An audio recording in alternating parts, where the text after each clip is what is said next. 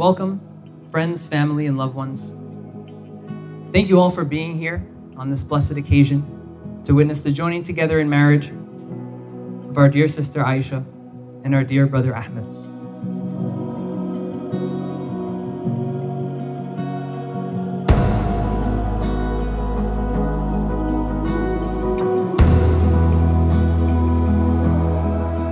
Love does not consist of gazing at each other, but in looking together in the same direction.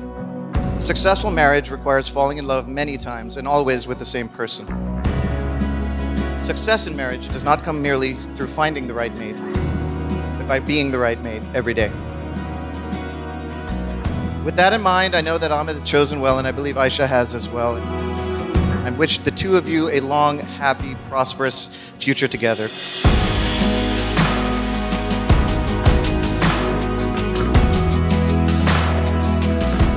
Ahmed is one of the most inspirational people I know. Just like our father, he's inspired me in so many ways.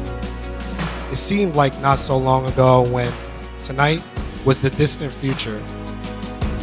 Ayesha came into Ahmed in our lives, where she left a memorable impression.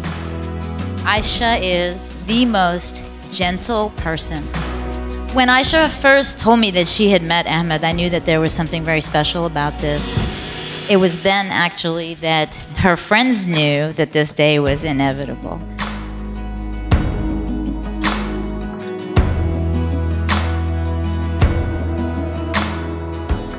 Ahmed is the type of person that will sacrifice himself to help someone in need. I've also seen the size of his heart, and with that combination, Ayesha and Ahmed are destined for greatness together in their marriage for years to come.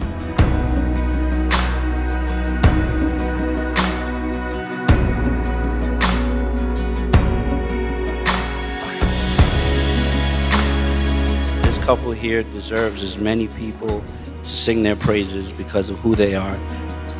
And may your life together be full of prosperity, health, and happiness. Congratulations.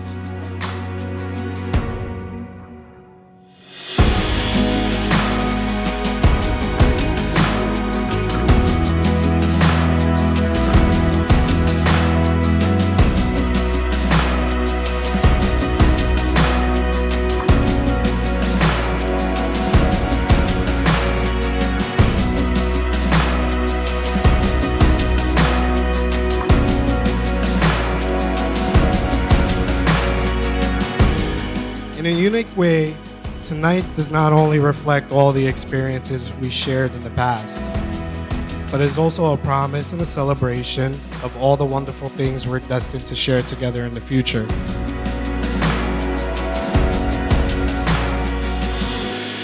Oh my god. Wow. You look amazing. Love you. Amazing. You look beautiful. You look amazing. So happy to see you. Me too. You- I waited so long. You okay? I am now.